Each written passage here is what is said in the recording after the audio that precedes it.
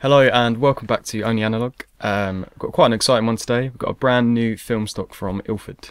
Um, I say brand new, um, it's just been introduced as a 120 film and it is known as Kentmere. Um, so before we get started today, I just want to thank each and every one of you that have subscribed. Um, we have finally made it to that thousand subscriber mark.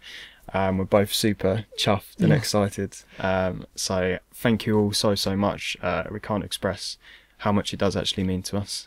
If you haven't subscribed, please subscribe and join our family because we we are starting to really like the the community that we're building. Mm. So if you want to be part of that, then come and join. So Ilford have introduced this as a 100 and 400 ISO. Um, today we're only shooting the 400 ISO version of this particular stock. Um, the reason for that is we went out on our first frost and it was super overcast and we knew that the 100 speed probably wasn't going to cut it um, without a tripod. Um, so today we're testing 400. I'm sure we probably will get into 100 in the in the near future. Um, so we found a really cool location today. Parked the car, went out on foot and found some some lovely little gems, didn't we? Yeah. Uh, so we're going to run some footage and then we're going to get into some specs, um, what we think about the film, and how we developed this film as well. Uh, so enjoy today's video.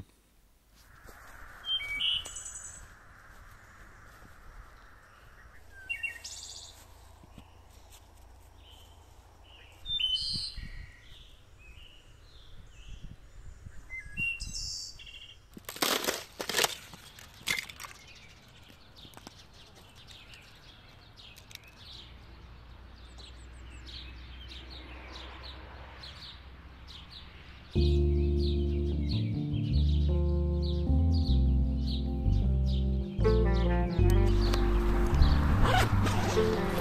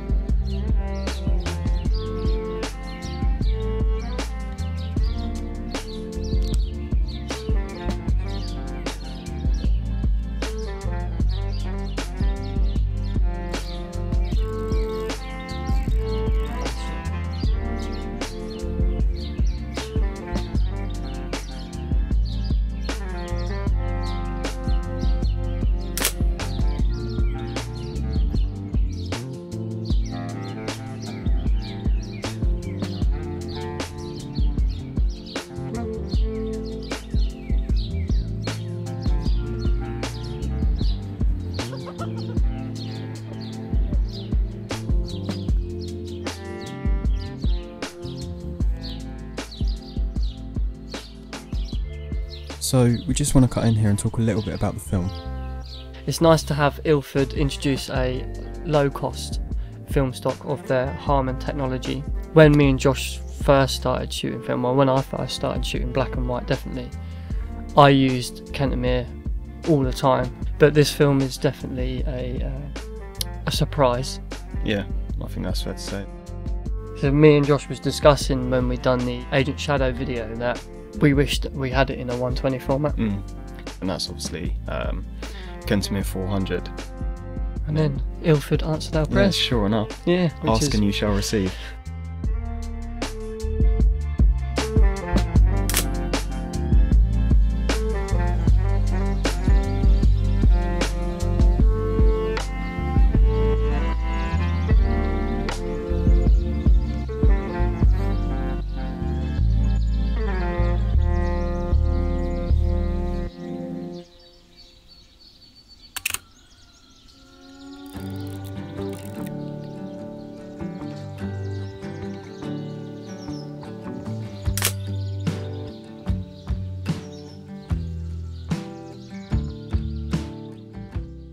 So for a 400 speed film, um, there's definitely not a lot of grain.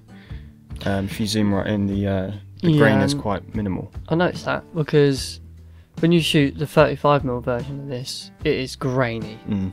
We did develop this in Perceptol. Um, Ilford's Perceptol only seems right to develop an Ilford film in Ilford developer. Yep. Um, but we developed this at stock developer, so 500ml of Perceptol, and got some banging results.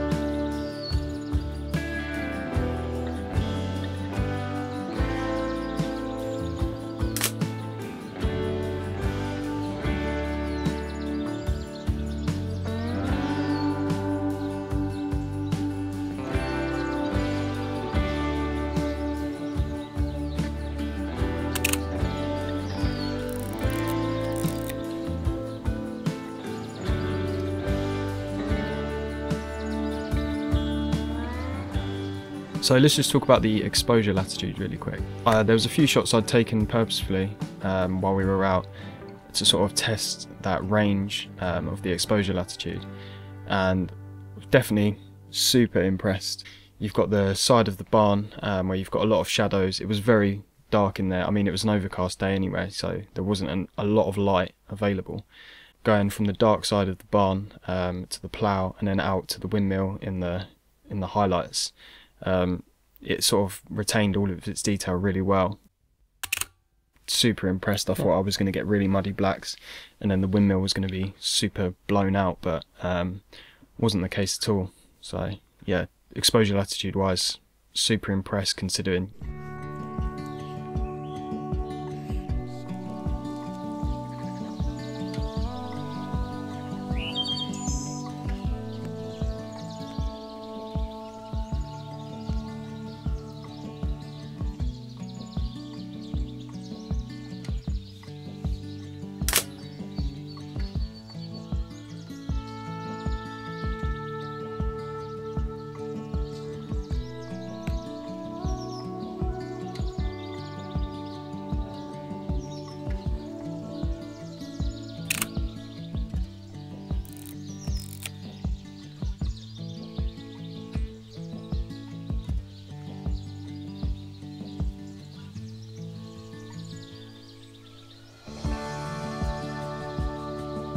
So this was the last shot I was able to take with my Pentax 6.7. As some of you know, um, I have a spacing issue and the last frame is always a half frame. I was lucky enough to get Tom just in the frame on this one.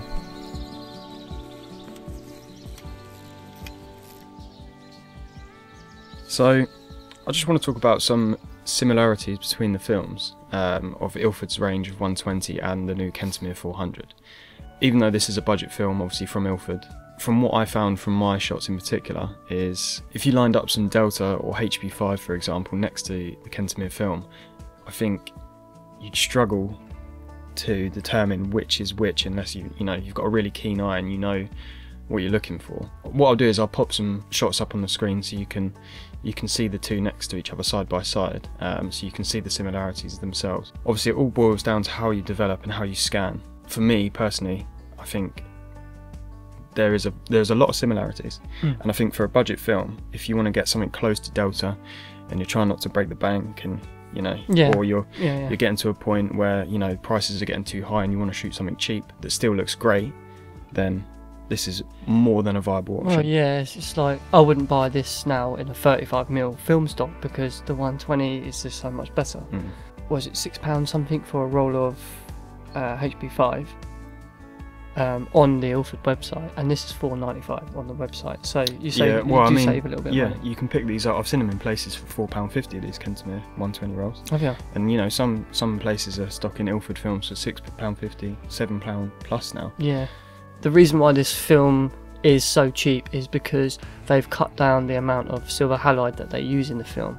When you get the Harman technology and Ilford bringing out a stock like this, it will just boost your confidence in shooting film again Yeah, because you can just go, price. right, okay, I buy a roll of 100 and 400, it's going to cost me, what, a tenner? Yeah, if that. If that, yeah. If you slow down and shoot wisely, you'll get some nice printable shots, I think, out of it. I think we've proved that in today's video. There's Yeah. a few shots in there that I'll probably be printing. And the other thing is, I don't think you know, Kentmere's been frowned upon a lot, especially in 35mm over the years. Um, I've seen a lot of people give it some grief um, online, and you know, people I've spoken to as well. But I think now that this is in 120 and what we've seen from the images themselves, the first shots we've seen, Mm. I think it's definitely nothing to be frowned upon. I think this is this is a beautiful film stock. nice we were stock. extremely surprised. These were an absolute breeze to scan. Yeah. They were really easy to work with.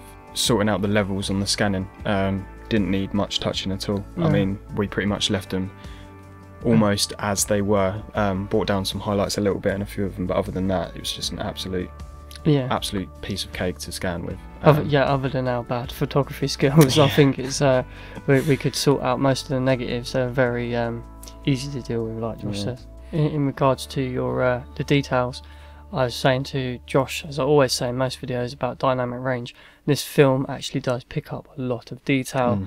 Mm. Some of the shots that um, Josh took with his Pentax, you can zoom right in and you can see like, like lightning rod right in the background yeah. you start to pick buildings out in the background Yeah. and for a low cost film it's rather good yeah. in like you say you've got the exposure latitude you notice the difference there and i noticed the difference in the, the dynamic range and i think Mm.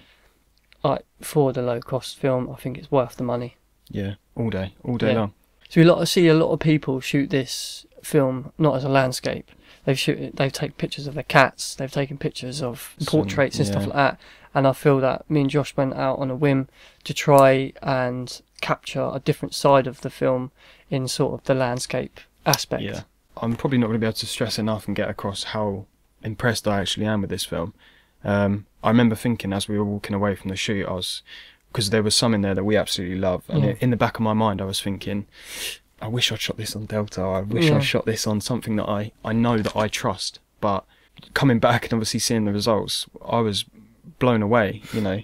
I, as I said before, we're, I'm definitely going to get some of these printed. Um, I think they are some of them are print worthy Yeah. shots, and if you if someone if there's someone out there that didn't know Kentmere existed in 120 and you said oh yeah that's Kentmere 100 or Kentmere 400 I think they'd be blown away yeah But- it'd, be, it'd be definitely an our lineup of film. Yeah. Black and white films Mm. to go forward with. I think yeah it's fair to say it's um I know obviously Ilford have got a lot of films that I love that you love. Yeah. Delta obviously I know we say in every single video.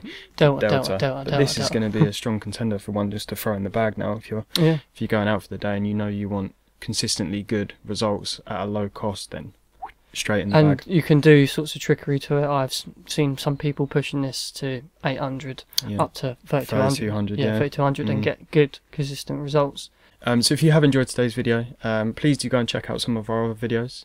Uh, hit that subscribe button as well. It really means the world to us both. Um, drop it a like and give it a comment as well and let us know what you thought and if you've shot a roll of the new Kentmere 120 yet. as always, thank you very much for watching today, and we will catch you in the next one. Peace. Peace.